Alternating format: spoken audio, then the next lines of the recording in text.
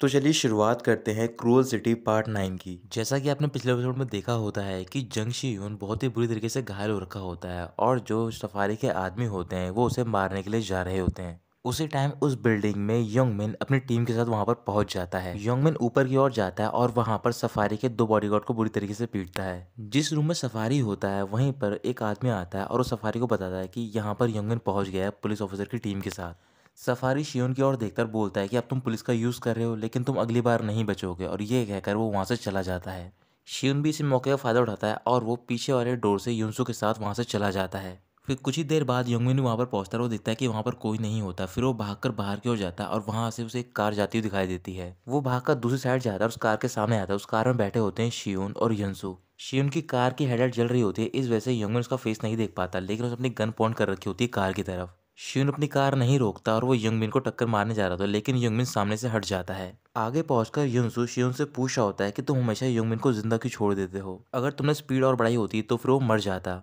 क्या तुम्हें पता नहीं है कि यंगमिन तुम्हारे पीछे है या फिर तुम गिल्टी महसूस कर रहे हो? क्योंकि तुमने यंगमिन की गर्लफ्रेंड को मार दिया है। इस बात का शिवन कुछ भी जवाब नहीं देता है। कुछ ही देर बाद दोनों घर पे पहुँच जाते हैं। युनसु शिवन से बोल रहा होता है, क्या तुम्हें याद है कि हम दोनों जब जेल में थे, हमने हर चीज़ रूल की थी? लेकिन पता नहीं अब ये बाहर की दुनिया इतनी डिफ़िकल्ट क्यों है। अगले दिन शिवन मिन होंकी से मिल रहा होता है और उससे मिलने के बाद उसे थैंक यू बोलता है। मिन होंकी कह रहा होता है कि मैं तुम्हें खो नहीं सकता हूँ, लेकिन तुम पे सफारी ने अटैक किया है, इस वजह से तुम्हें दोबारा अटैक करना होगा। शिवन हाँ कहता है, फिर होंकी से पूछ रहा होता है कि तुम अब होलसेलर के बारे में क्या करोगे? या तो तुम मुझे उनकी इन्फॉर्मेशन दे दो, मैं सबको पकड़ लूँगा। क्या तुम वाकई में उनसे डील करने वाले हो? तुम्हें उनसे डील करने के बजाय इस बारे में सोचना चाहिए कि तुम कैसे फुसान ऑर्गेनाइजेशन में जाओगे। जब तुम ऐसा करने में कामयाब हो जाओगे, तभी तुम सफारी और बुसान को पकड़ पाओगे। साथ ही में तुम्हें यह भी ढूंढना है कि ग्योंगमी को किसने मारा है। योंगमिन सोमन के साथ घर पे होता है, फिर उसके सामने रखता है उससे बोल रहा होता है कि अगर तुम्हें पुलिस ने अरेस्ट कर लिया तो फिर मैं तुम्हारी हेल्प नहीं कर पाऊँगा। फिर वो सोमिन से बोलता है कि तुम ये हथकड़ी लो और मुझे पहना दो, वो उसे हथकड़ी पहना देती है। तभी योंगमिन एक पिन निकालता है और उस हथकड़ी को खोल देता है, फिर उससे बोल रहा होता है कि अभी तुम्हें प्रैक्टिस करना है। कई बार प्रैक्टिस करने के बाद सोमिन हथकड़ी खोलने में कामयाब हो जाती है। इधर शिवन युनसु के साथ होता है वो ड्रिंक कर रहा होता है। फिर वो युनसु से बोलता है कि अगर तुम यहाँ से बाहर जाना चाहते हो तो फिर मैं तुम्हारी हेल्प कर सकता हूँ, ताकि तुम ये बिज़नेस से दूर चले जाओ। युनसु मना करता है और कहता है कि मैंने इस चीज़ की शुरुआत करी थी, इस वजह से मैं इस चीज़ का एंड करूँगा। कुछ ही देर बाद वहाँ पर जिनसुक पहुँच जाते हैं। फिर वो आपस में बात कर रहे होते हैं कि उनके पास सप्लाई के लिए ड्रग्स नहीं होता है। शिवन सबसे बोल रहा होता है कि तुम चिंता मत करो, मैं कुछ ही टाइम बाद होल सेलर को ढूंढ लूँगा। दूसरी ओर सफारी से मिलने के लिए बुसान का एक आदमी आता है उसके सामने एक सूट केस में ड्रग्स रख देता है। फिर वो आदमी फ़ोन निकालता और किसी को कॉल करके वो फ़ोन सफारी को दे देता है। उस कॉल पे बात कर रहा होता है बुसान का बेटा और वो सफारी से बोल रहा होता है कि अगर तुमने इन चीज़ों को पैसे में नहीं बदल पाया तो फिर तुम्हें पता है कि तुम्हारे साथ क्या होगा। तुम्हें पता है कि मैं अपने फादर से बहुत ज़्यादा डिफरेंट हूँ। जल्द से जल्द डॉक्टर के बेटे को मार दो और एक नया डिस्ट्रीब्यूशन नेटवर्क इस्टेब्लिश करो। तुम्हारे पास इसके लिए सिर्फ़ पंद्रह दिन है और ये कहकर वो कॉल कट कर देता है। फिर वो आदमी वहाँ से चला जाता है। उसके जाने के बाद, सफारी के पास में युनसु भी होती है और उससे बोल रही होती है, क्या तुम्हें लगता है कि जिनसुक तुमसे डील करेगी? सफारी जिनसु को कॉल करता है और उससे मिलने के लिए जाता है। जैसे जिनसु उससे मिलती है, वो गुस्से में बोल रही होती है कि, मैं तुम्हारे साथ डील नहीं करूँगी। सफारी बोल रहा होता है कि, अगर तुम्हें डील नहीं करनी है तो फिर मत करो, लेकिन तुम्हें डॉक्टर के बेटे की जान प्यारी है या फिर नहीं? मैंने तुम्हें पहले ही बताया था तो फिर तुम इस बारे में डिसाइड कर लो और ये कहकर वो चला जाता है। सफारी अपने घर में पहुँचता है तो फिर वहाँ पर युनसु से पूछ होती है, क्या तुम वाकई में जिनसु के साथ डील करने जा रहे हो? सफारी बोल रहा होता है कि डॉक्टर के बेटे ने कुछ भी नहीं बताया जिनसु को जो भी हमारे बीच में हुआ है। लगता है कि वो देखने वाला है कि ये डील कहाँ तक जाएगी। जिनसु अपने होटल से बाहर जा रही होती है और वहाँ पर शिवन होता है, उसे जाते हुए देख लेता है। जिनसुक के जाने के बाद पीछे वाले डोर से शिवन भी वहाँ से जा रहा होता है, तभी उसे वहाँ पर सोमन दिख जाती है। सोमन शिवन को देखकर मुस्कान ले जाती है और बोल रही होती है, तुम काफ़ी कूल लग रहे हो। क्या तुम इसी होटल से बाहर आ रहे हो? तुम यहाँ पर किसके साथ आए हो? फिर शिवन बोल रहा होता है कि, मैं यहाँ पर ड्रिंक करने के लिए आया था। सोमन कह रही होती है कि, तुम्हें मुझे बताना चाहिए था क्योंकि मेरी फ्रेंड भी यहाँ पर है। मतलब मैं उससे इतनी क्लोज तो नहीं हूँ। तभी शिवन उसकी बीच में बात काट देता और बोलता है कि, मैं समझ गया और ये कहकर वो चला जाता है।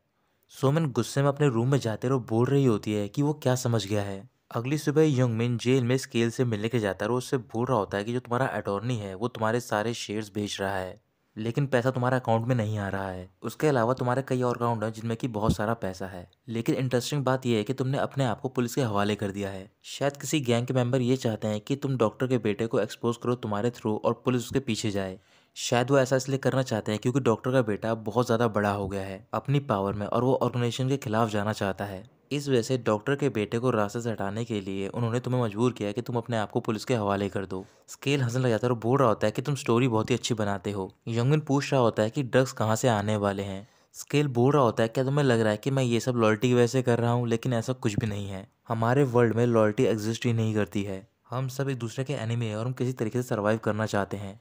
जिसके पास पावर होती है, हम मारने की, हम उसके सामने ओबीडियंट होते हैं और उसकी बातें मानते हैं। क्या तुम्हारे पास वो पावर है कि तुम मुझे मार सको?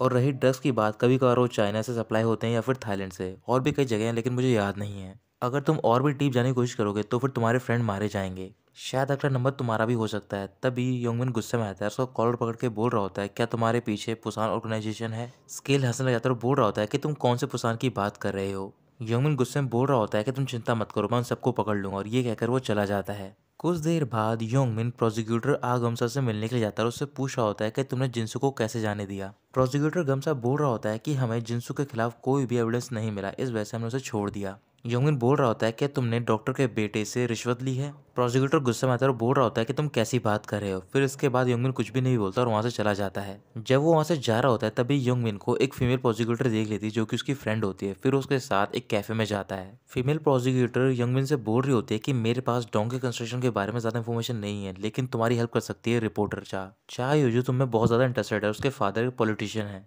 तुम्हें उसके साथ कॉलबरेट करना चाहिए। तभी वहाँ पर रिपोर्टर चाह योजो पहुँच जाती है, फिर प्रोसिक्यूटर वहाँ से चली जाती है।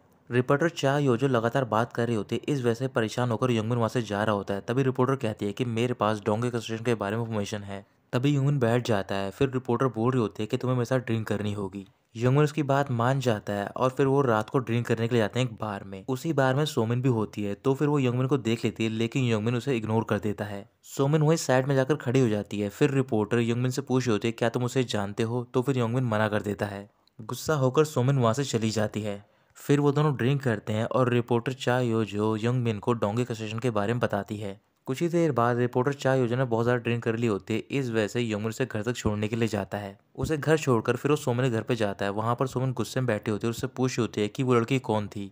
क्या तुम क्योंगमी को इतनी जल्दी भूल गए हो? फिर योंगमिन बोल रहा होता है कि वो एक रिपोर्टर हमारे बीच में कुछ भी नहीं है। अभी मैं तुम्हें कोई भी चीज़ एक्सप्लेन नहीं कर सकता हूँ। और तुम्हें सिर्फ़ रिपोर्ट करना है कि आज का दिन क्या हुआ है। सोमिन कुछ भी नहीं बोलती और वहाँ से चली जाती है। फिर सोमिन अपने होटल रूम में जाती है, जो कि उसे जिनसुक ने दिया होता है। कुछ ही देर बाद वहाँ पर जिनसुक भी पहुँच जाती है उसके साथ ड्रिंक करने के लिए।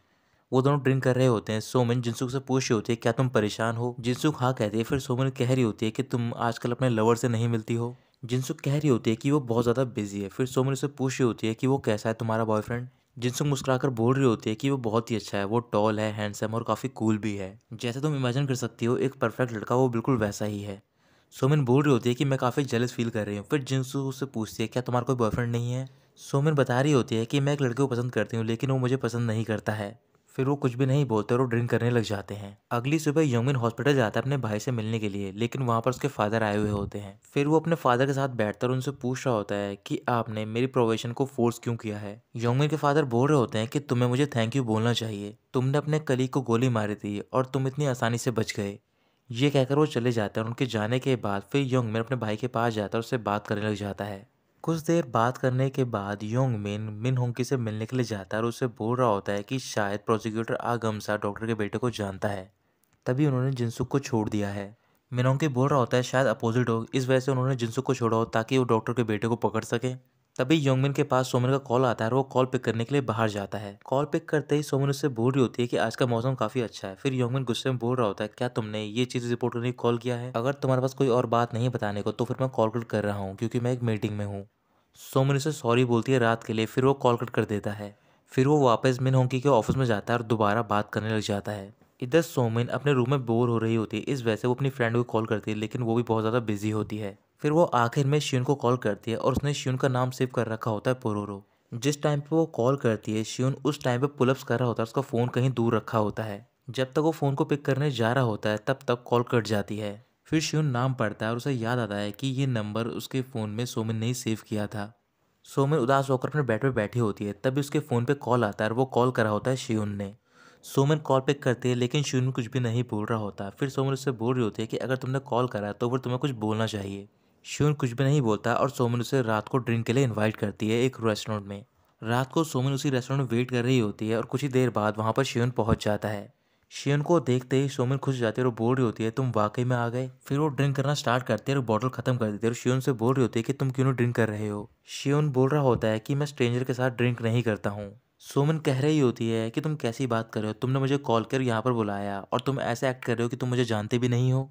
शिवन कह रहा होता है कि तुमने मुझे कॉल करके यहाँ पर बुलाया ना कि मैंने। सोमन बोल रही होती है, जो भी बात हो, लेकिन एंड रिज़ल्ट मैटर करता है। जो भी है, तुम यहाँ पर आ तो गए हो, ये सुनकर शिवन मुस्कुराने लग जाता है। फिर सोमिन शिवन की ओर देखते उससे बोल रही होती है कि मैं काफ़ी बदल गई हूँ।